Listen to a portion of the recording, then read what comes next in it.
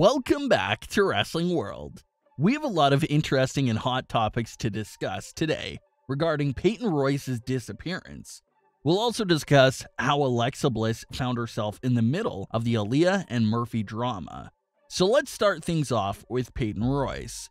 This is a weird one, but honestly, we should have all seen this coming. So, remember a few weeks ago, we had that strange match that came out of nowhere on Raw where the losing team had a disband between the Riot Squad and the Iconics.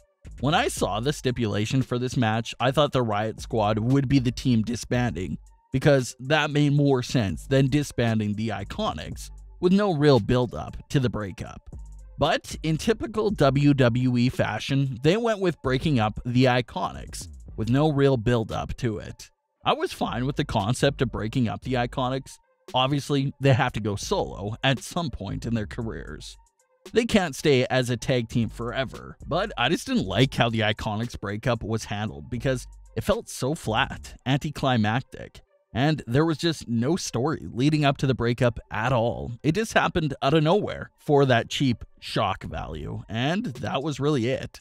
Peyton Royce and Billie Kay both shared emotional messages, on social media about their goodbyes to each other, and we thought that was it.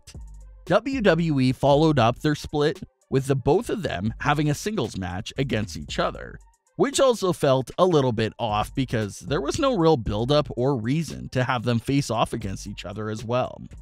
Don't get me wrong, I want to see Peyton Royce versus Billie Kay, but for that specific match on Raw a few weeks ago, there was just no story or reason behind the match.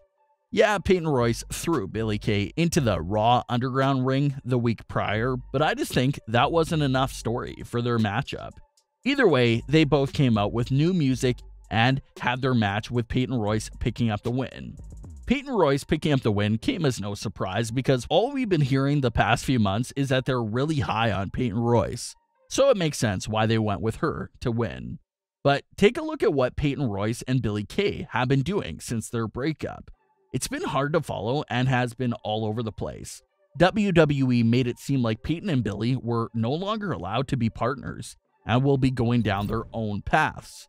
But then we see Peyton Royce and Billie Kay together backstage. The other superstars did acknowledge that and asked them, were they together and weren't they supposed to break up? Billie Kay tried to explain it by saying that they couldn't tag with each other anymore, but no one said anything about them not being able to be friends and support each other. Which is technically true. It's not like WWE banned them from having communication with each other. But that line by Billie really gave me the feeling that WWE was regretting that decision to break them up and was looking for little loopholes to keep them together.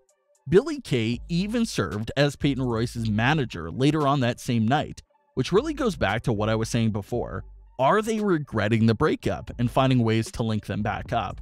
It definitely seems like that. They made it look like Peyton and Billie would never cross paths again. But over the past few weeks, it seems like they never broke up. Another issue is the constant disappearance for Peyton Royce and Billie Kay. One week they're on Raw, then they'll disappear for a few weeks and randomly pop up again. There was a report a few weeks ago that Vince McMahon has forgotten about his plans for Peyton's push. But the latest reports claim something a little different. They say that they didn't forget about her, but just dropped whatever they had planned, which is still unfortunate when you think about it. So there's a lot to worry about for Peyton Royce and Billie Kay fans. It's slowly getting to the point where it feels like they have no direction for them on Raw. Like we talked about before, I didn't mind the idea of a split for the Iconics, but the way the breakup actually unfolded was so weird and unexpected. But hopefully they're able to fix this up and back on track. This storyline between Aaliyah and Murphy is quickly becoming one of the most heavily discussed and controversial storylines on WWE programming. There seems to be two main arguments among the fans. One side says, well, she's 19 and there's a 13 year difference. And the other side says, they're both adults, it's just a storyline and it's not even real. There's a lot of people saying a lot of different things about this storyline, but I think that sums up the two sides. One side thinks it's a bit weird, and the other side says it's just a storyline. Let's get into what happened this week because there was a lot to cover. We see Murphy texting on his phone. Seth Rollins comes over and tells Murphy to go change. So Murphy walks away and leaves his phone. This moment right here bothered me just a little from a logical point of view. Everyone's always aware of where their phone is, especially when they're leaving a room. So for Murphy to literally just be on his phone texting Aaliyah, then completely forget about his phone and leave it behind seems a little ridiculous. Of course, everyone is human, they'll forget their phones, but Murphy was in the middle of this conversation with Aaliyah that he didn't want anyone to know about. He should have been even more aware and alert about where his phone is because of what he was doing. So for him to just walk out of the room and not realize, where's my phone, right away does seem a bit ridiculous. But that leads us to Seth Rollins taking the phone and reading through the messages. The Mysterio family comes out for a segment with Jerry Lawler. Aaliyah is asked about Seth and Murphy, and she talks about how bad they are, but you can just tell in her face that she wasn't being honest. Seth comes on screen and reveals the reason why Aaliyah wasn't being honest about Murphy. Seth reveals the conversation between Aaliyah and Murphy. Let's take a look at it. Murphy said, I just want to apologize again. I hope you're doing okay. Aaliyah said, I'm fine. It's just been a lot. Murphy responded with, I get it, but if you want to talk about it, I'm here. Aaliyah said, I might just have to take you up on that offer. By the way, happy birthday. The question I have for this moment right here is how in the world did Seth Rollins know Murphy's password and all these other details to get to those messages? Anyway, the Mysterio family tries to talk to Aaliyah, but she walks away again. We then get to the match between Dominik and Murphy. Aaliyah comes running out to tell Dominik to drop the kendo stick and accidentally ends up costing him the match. Dominik is furious with Aaliyah and says that she is naive. This leads to Aaliyah slapping him and walking away. I also wanted to talk about Aaliyah's line of, he's not like Seth, because we talked about how horrible of a line that would be for her to use several weeks ago. But WWE still ended up using it.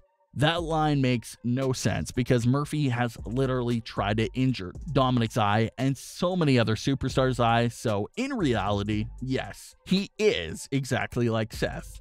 The Mysterio family segment sparked the most interest on WWE's YouTube highlights and has the most highest viewership compared to other Raw segments. Everyone was talking about it, including Alexa Bliss.